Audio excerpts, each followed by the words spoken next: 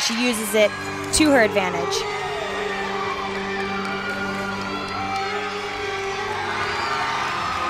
Pretty nice. Again, those judges see this vault a lot.